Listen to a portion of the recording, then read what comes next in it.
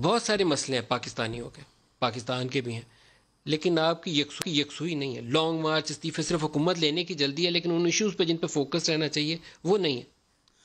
کسی حد تک تو میں آپ سے اتفاق کرتا ہوں۔ لیکن سیاسی پارٹیاں اپنا رول ادا کر رہی ہیں، کرتی ہیں، لیکن یہاں کنٹرول ڈیموکریسی کی طرح کنٹرول اپوزیشن بھی ہوتی ہے۔ یہاں بھی ان کے کام اور معاملات کو کسی طریقے سے رکاوٹیں جو آتی ہے جو میں کہہ رہا ہوں وہ آپ یہ آپ نے اچھے لفظ استعمال کیے کنٹرولڈ اپوزیشن آئی ایکٹ جو میں میں جو کہہ رہا ہوں سو فیصدی آپ سے متفق ہوئے جو میں میں یہی کہہ رہا تھا مینیجیبل اپوزیشن جو میں کہہ رہا ہوں وہ آپ سمجھ بھی رہے ہیں۔ لیکن جس دن فیصلہ ہوا آپ دیکھیں گے کہاں سے لوگ آئیں گے۔ یہ ملائکہ ہیں جو رستوں میں آپ کا نام نہیں ملیکہ جی۔ جی یہ ملائکہ ہیں جو رستوں پہ آ گئے کیا آپ خود دیکھیں گے؟ جب یہ فضا بنتی ہے لیکن جہاں تک ہمارا آیا میں مولانا صاحب پہ کسی پہ تنقید نہیں کہہ رہا ہوں۔ ہم اپنے معاملات میں کلیئر رہیں اور ہم نے پہلے دن بھی کہا ہے۔ پہلے بھی ہم ان کے خلاف تھے۔ ہم اسمبلیوں میں بیٹھتے ہیں پارلیمنٹری سیاست کرتے ہیں۔ ہم چاہتے ہیں ان سے مقابلہ اسمبلیوں میں کریں۔ ہم نے کبھی بھی غلط وعدہ نہیں کیا۔ وزیر اعظم صاحب وعدے یاد دلا رہے ہیں۔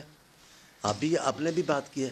میری طرف سے ان کو وعدے تو یاد دلائے وزیر اعظم ہاؤس سے لے کر گورنر ہاؤس سے لے کر پروٹوکول کے چھوڑنے تک چینی کے بحران کے حل تک آٹے کا مسئلے کے حل تک، ان سے ان کو بھی تو وعدے دلائیں اگر ایک وعدے پر استعفیٰ ہے تو پچاس وعدے پہ کیا ہونا چاہیے؟ ان پہ کیس چلنا چاہیے۔ ان کے بھی، ان کے بھی تو وعدے ان کو یاد دلائیں آپ نے صرف ہمیں یاد دلائیں ان کو بھی یاد دلائیں جناب آپ نے یہ کیا کہا تھا کہ یہ نہ کروں، اگر آئی ایم ایف سے فنڈ لے لیا، مرنا پسند کروں گا۔ میں آپ کے مرنے کی بات نہیں کرتا، اللہ آپ کو زندگی دے، لیکن کچھ بات تو آپ بھی کریں۔